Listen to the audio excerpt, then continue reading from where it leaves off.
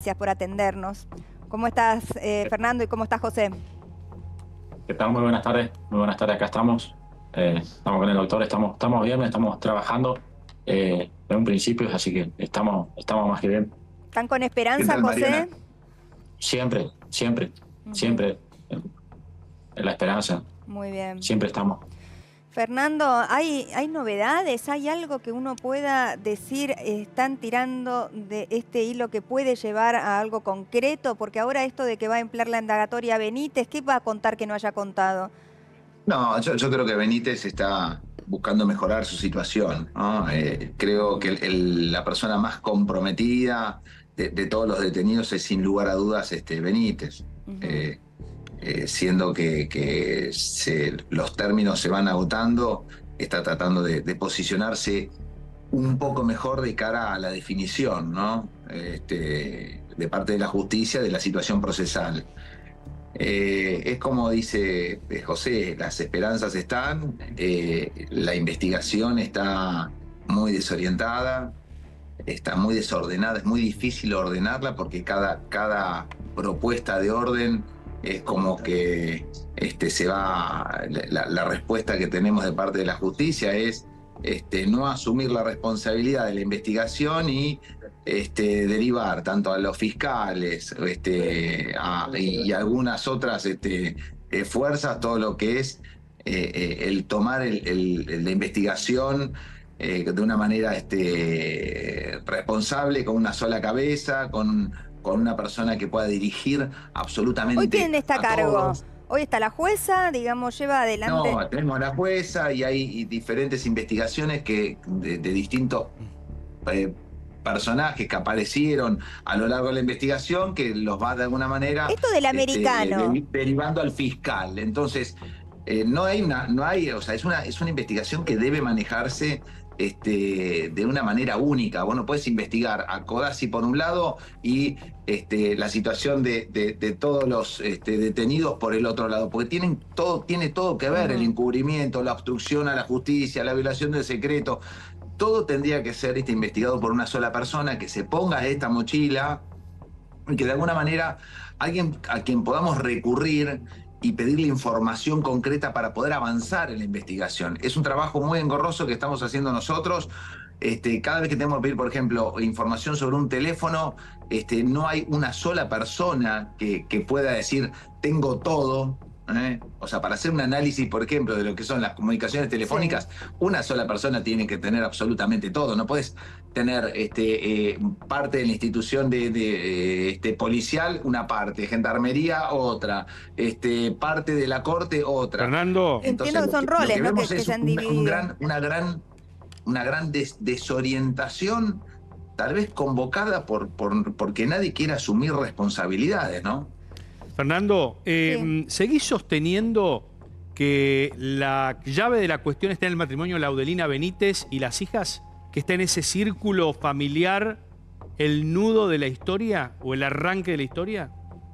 Sí, sin lugar a dudas, sin lugar a dudas. Eh, Sin lugar a dudas, eh, de toda la gente que estuvo este, eh, cuidando a, a Loan, eh, en esos momentos son, sin lugar a dudas, se tiene una responsabilidad objetiva. ¿Eh? O sea, más allá de todo lo que, ha, lo, que se ha agregado, pero eh, no podemos pensar de otra manera. Yo, yo quiero que entiendan, había, este, no había eh, 20 menores. ¿eh? Los menores estaban individualizados, se los podía ver. Este, no puede ser que un chiquito desaparezca y, y ninguno de los mayores, que eran varios, no, haya, este, no se haya percatado de esa situación, si no tiene cierto protagonismo en, Salvo- en lo que es este, el Salvo que, ocultamiento, que hubiese un pacto de silencio realmente, ¿no? Entre todos los que están detenidos y que en algún momento esto se quiebre, que yo creo que es la, la expectativa que hay, por lo menos de parte de todos, cada vez que de- de- nos enteramos que alguien va a declarar, ¿no? Dirá algo distinto Ma- a lo que dijo hasta ahora. Eh, Mariana, eso yo no tengo ningún tipo de esperanza. ¿eh? Mm.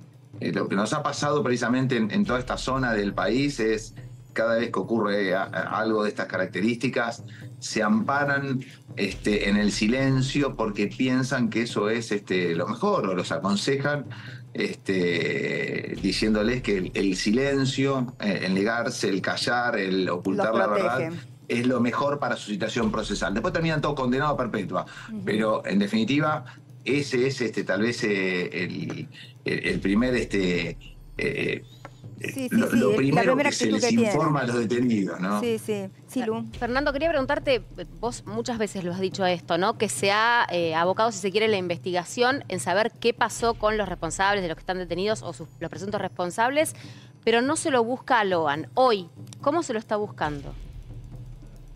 Mirá, hoy creo que estamos todos esperando ese, ese llamado este, mágico este, que, que informe dónde está Loan en algún lugar del mundo. O sea, no hay absolutamente nada, nada. Lo, los únicos que estamos buscando a través de una pesquisa, este, dónde está Loan, realmente yo considero que somos nosotros porque somos los únicos que estamos traccionando con el tema de, de, las comunicaciones telefónicas. Yo el otro día les expliqué, es un lugar 9 de julio chico donde hay 2.500 habitantes, creo yo ponele que cada habitante tenga dos teléfonos, son 5.000 teléfonos, hay que analizar los patrones de los teléfonos y ver qué teléfonos extraños, con quién se vinculaba esta gente, eh, eh, tenerlos ubicados geo, este, eh, la, localización. Este, voluntad y recursos, ¿no? Sí, claro. Fernando, ¿el gobierno de Corrientes sigue buscando a Loan o ya se olvidó, ya se desentendió? Porque tengo entendido que me parece que lo, lo rechazaron como querellante. Este, y Valdés estaba muy metido al principio. hoy, sufrieron, hoy sufrieron el revés este, eh, más espectacular porque bueno, a través de incluso este, utilizando la imagen de, abogados este, de, mucho prestigio, eh, intentaron este, entrar por la ventana en la causa donde ellos mismos fueron denunciados. O sea, no te olvides que acá fue denunciado por Marijuán desde la eh, Codazzi hasta, hasta el propio Valdés. Y lo mismo este, ocurrió con una denuncia de Gustavo Vera.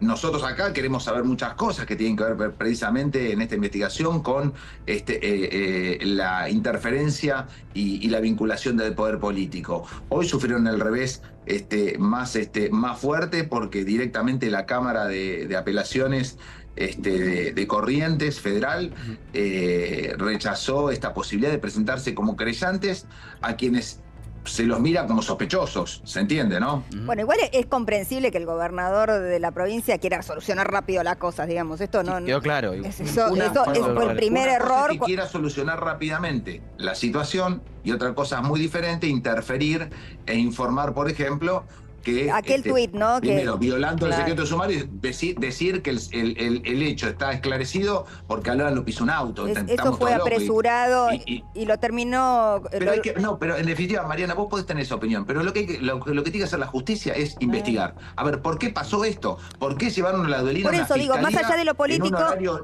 ¿Por qué? Totalmente irracional. ¿Por qué se hizo lo este, que se hizo y quién lo está buscando? Sí, y quién lo está buscando a Loan, ¿no? O sea, y, la, y, la, policía de la provincia de, de Corrientes está desafectada de esta investigación, no lo están buscando. A mí me hubiese encantado que me dé una explicación, este, no a mí, perdón, soy, esto es, debe ser parte de, de mi ego que no, no se despoja de, de mi persona nunca, este, que, que las autoridades políticas se comuniquen con, con la familia y que le digan, primero, que hay una muy buena explicación de, lo que pasó. Y segundo, que pongan toda la fuerza del Estado provincial en búsqueda de Loan. Y ya no dentro del Estado, este, del Estado provincial, sino también fuera del Estado provincial. Nacional. esto, es un tema... Normalmente, normalmente son bandas que, que, cometen delitos de, carácter transnacional. O sea, acá...